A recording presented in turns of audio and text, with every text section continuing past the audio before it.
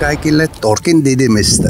20 astetta lämmintä ja hieno ilma ja kevettä puhkaa täällä. Kuten näet, mantelipuissa mantelit alkanut tulemaan ja, ja kaikki luonto on herännyt ja olen tällä hetkellä täällä viljapellon reunassa. Kävellään ja puhutaan Turkin asunnojen hinnoista, asuntojen hinnoista. Turkin asuntojen hinnat on päässyt melkein Suomen tasoon. Nyt aloitetaan. Samalla kävelen ja näytän teille vähän meidän viljapeltoa. Ei ole meidän, vaan Turkin viljapeltoa. Turkin asuntojen hinnat on melkein kolminkertaistunut viime vuosien verrattuna. Ainakin paljon on kallistunut. Sitä käsitellään täällä Turkin mediassa, mistä se johtuu miksi ne on kallistuneet. Ja turkkilaiset tavalliset ansiotulo, eli palkansaajat, niillä on unelma, mahdoton enää saada omaa asuntoa. Niin kuin täällä ja muussa maassakin yleensä niin käy, että sitä syynä pidetään ulkomaalaisilla myytyjä asuntoja. Eli ulkomaalaiset nostavat asuntoja hinnat niin käsitellään, että syynä on, että Turkissa, Turkkiin jos joku ulkomaalainen sijoittaa Turkkiin 250 000 dollarilla saa Turkin kansalaisuuden. Monet syyrialaiset, venäläiset muut ovat sille asunto ostamalla saaneet Turkin kansalaisuuden. Mutta sen osuus on niin pieni, että siinä on jotain muuta, miksi se asuntojen hinnat on noussut. Täällä muutama kuukautta sitten sitä kurssia nousu, nousi ja hinnat nousi, niin kuin Suomessakin nousee. Ja öljy, polttoaineet, sähköt, kaasut, kaikki on noussut täällä. Sitten asunnojen hinnatkin on noussut, koska ne kaikki tarvikkeet ovat kytkettynä, eli rakennustarvikkeet ovat kytkettynä toi polttoaineihin ja energian suoraan sanottuna tai lyhyesti sanottuna. Eli ihan turhaa siitä syyttää ulkomaalaisia, että ulkomaalaisten takia asuntojen hinnat se täältä. Mutta kuitenkin Turkin hallitus on nostanut sen määrän, että eli ulkomaalainen ei saa 250 000 dollaria sijoittamalla Turkkiin, Turkin kansalaisuuden. Se määrä on nostettu 400 000 dollariin. Mutta kuten minä sanoin, että syyn tekijät ovat Ukrainaa, Ukrainan sotaa ja öljyhinnat ja sähkön hinnat ja muita. Miten se on noussut täällä? Melkein yli kaksinkertaistunut täällä asuntojen ainakin pyyntöhinnat. Suuressa kaupungissa siis voi olla kolminkertainen tuo hintojen nousu.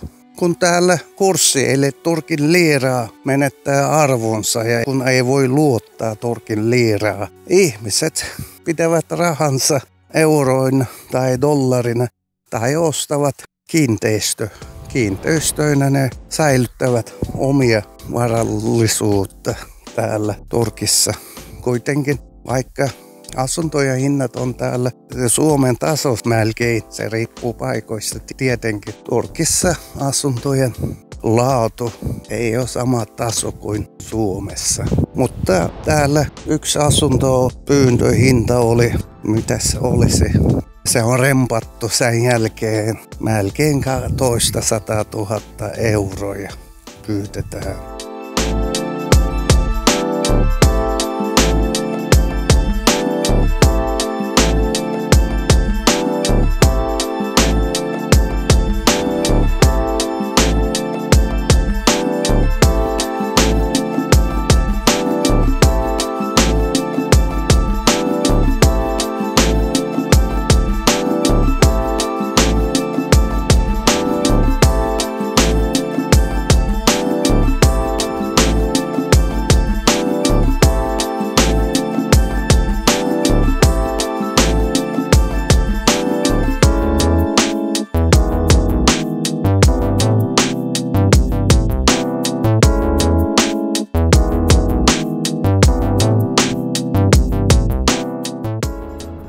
Naapuriasuntoa, pari taloa, melkein 150 000 euroa.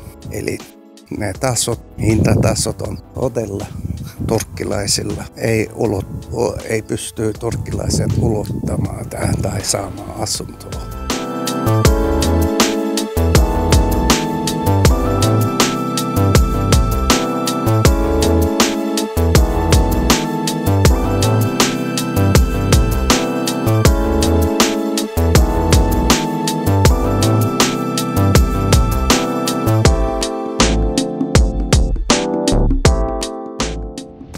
Täällä kaupoissa löytyy tavarat vielä, että mulla on Unkarissa asuva naapuri. Hänen kanssa oli puheita, että Unkarista ei saa ruokaöljy.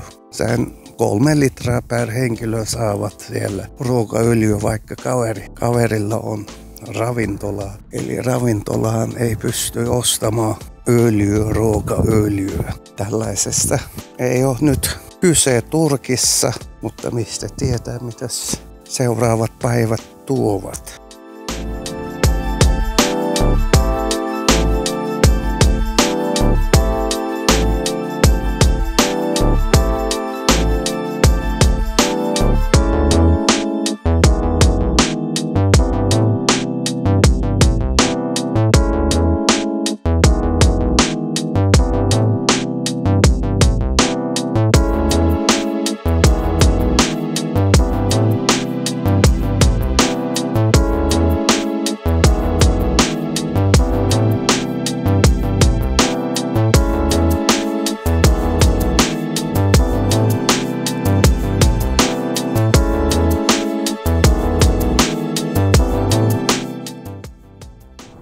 Suomalaisilla haluaisin sanoa, että jos teillä on asuntoa Turkissa, asuntoja hinnat on noussut. Jos on tarkoitus myydä, älkää myy halvalla. Asuntoja hinnat todella todella ainakin kaksinkertaistuneet euroina.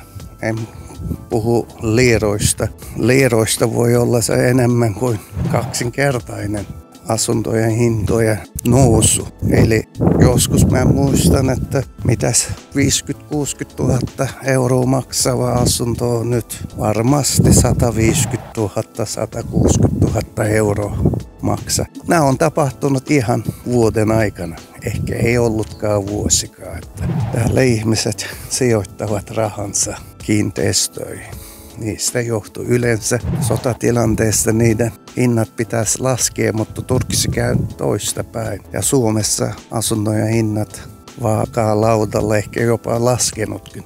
Ainakin minä olen niin kuullut. Oletteko samaa mieltä?